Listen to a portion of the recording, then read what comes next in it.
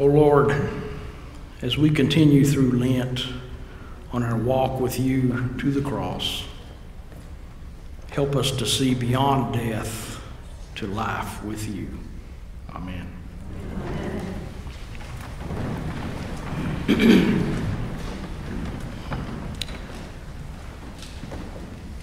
Today is Rose Sunday, the fourth Sunday of Lent. Last week we were in the messy middle, but now we've turned the corner. After being in the darkness of Lent for three weeks, the church gives us a chance to lighten up just a little bit. Purple is the liturgical color for Lent. Purple is not a primary color. It's a color that's made up of blue and red together. Blue is a symbol of depression, sadness, darkness. So if you take that away and you add the light of Christ, you have this rose color. It's a lighter, more cheerful color for today. So, as we lighten the mood for today, our reading is about snakes.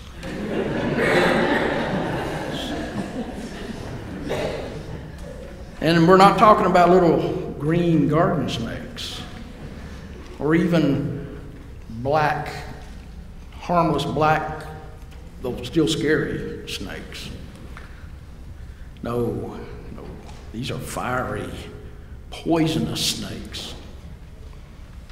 And they're biting the Hebrew people, and they're dying from these snake bites.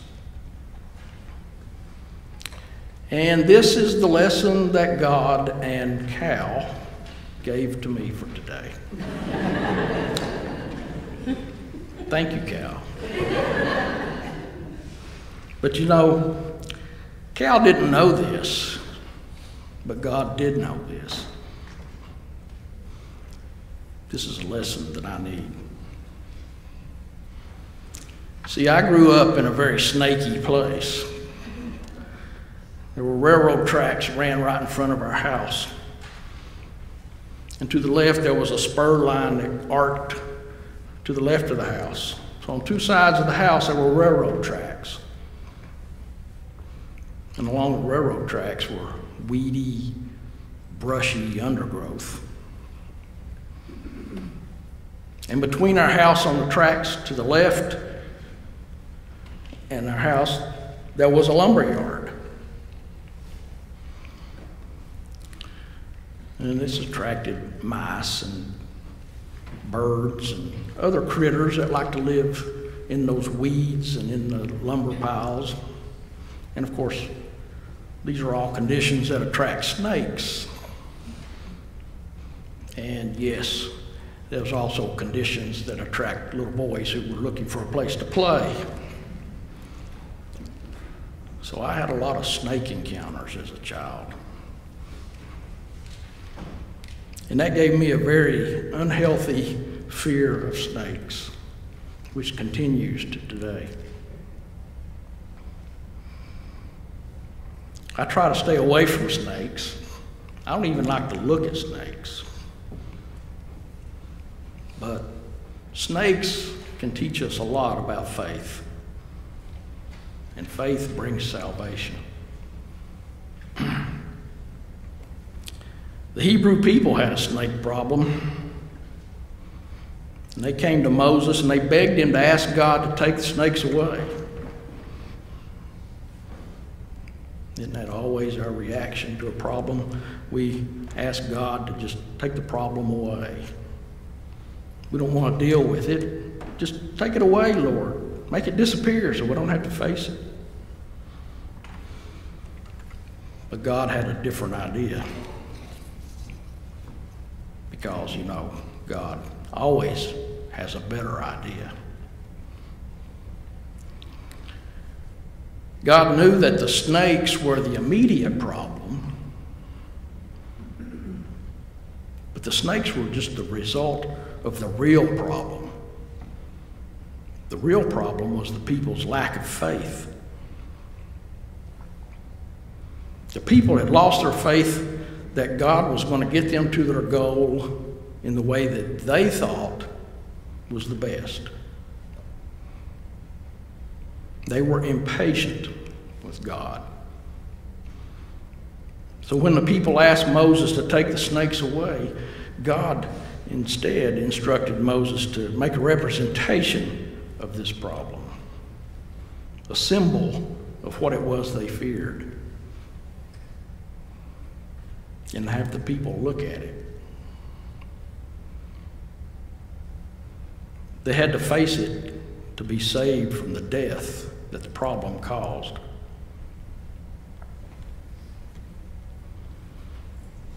When we have those problems, those iniquities, those transgressions, you know, the ones that are keeping us awake at night,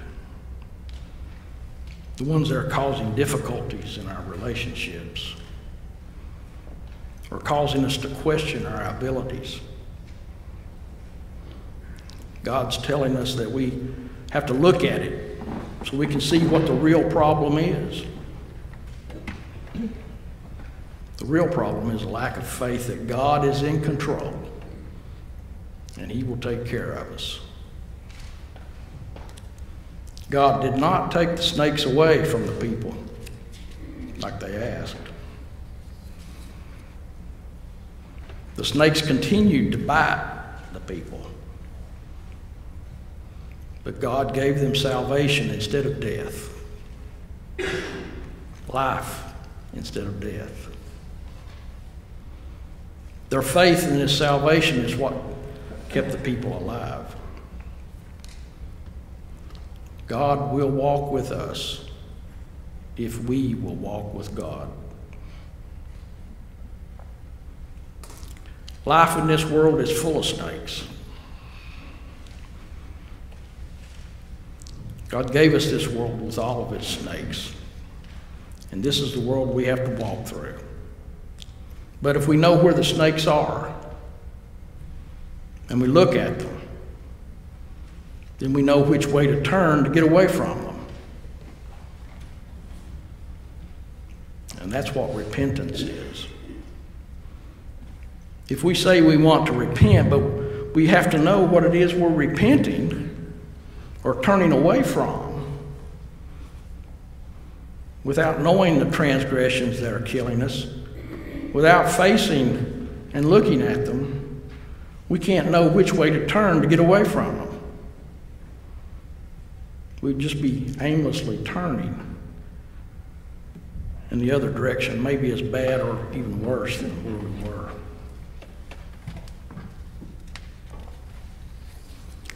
On Ash Wednesday, we were invited to a Holy Lent by self examination and repentance, by prayer, fasting, and self denial. Self examination comes before repentance. Self examination and then repentance. Self awareness is necessary to achieve an effective salvation. The Hebrew people were given life and salvation when they found a renewed faith and looked at what they feared most death. We have this cross, the symbol of death. But when we look at it through eyes of faith, we're able to see beyond death to the true life. We are made alive and saved from that fear of death by renewed faith.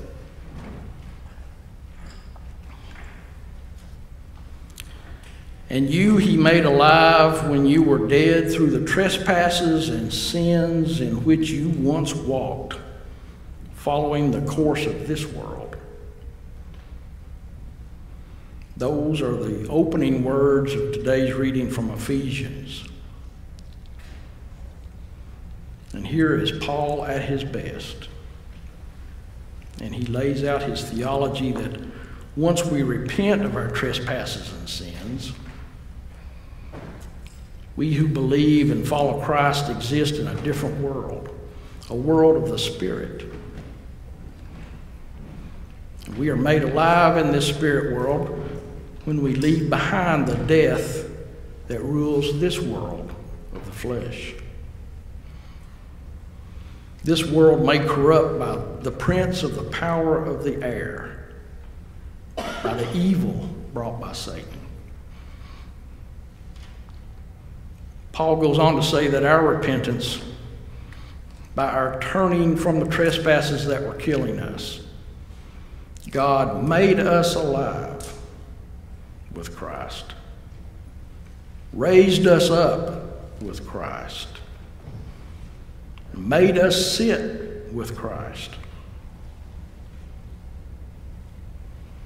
These are acts that God has already completed. The work has already been done. This is not something we have to wait for. We're already there. This was accomplished by Jesus when he went to the cross. We still walk through this world with all its snakes, but it's also a world filled with beauty. We can still feel the love in this world. In our gospel reading for today, Jesus tells us that his purpose in coming to us as human was not to condemn us, but to save us. This is all a gift from God. Our faith makes it possible. Our faith that God is in control and that God will walk through us through the hard times. Last month, my wife Terry and I made a trip to the Outer Banks of North Carolina. Our condo was right on the beach, and every morning as I did my devotions, I looked out the window in front of me.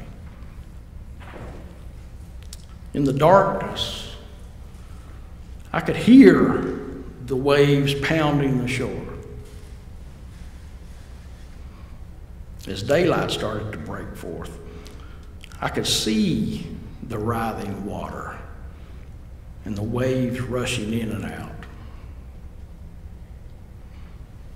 See, out there, there was chaos,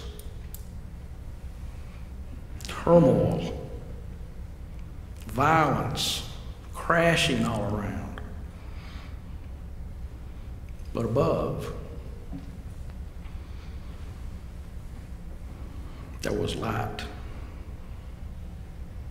Peaceful, delicate colors.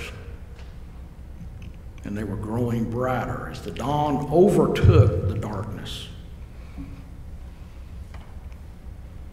I was blessed to see creation happening every morning as God's light, the light of Christ, came to bring peace over the chaos. The chaos was still there. The waves continued just as they always had. But I just had to look up. And there was peace and light. The snakes are always going to be there. But we need to look up and have faith that God's salvation will get us through. And I think that's what the lighter tone of Rose Sunday is all about. We are still in Lent. We still must walk with Jesus to the cross. We need to continue in prayer, fasting, and self denial, and reading and meditating on God's holy word. But today, let's look up and see the light of Christ and know that we are already made alive with Christ.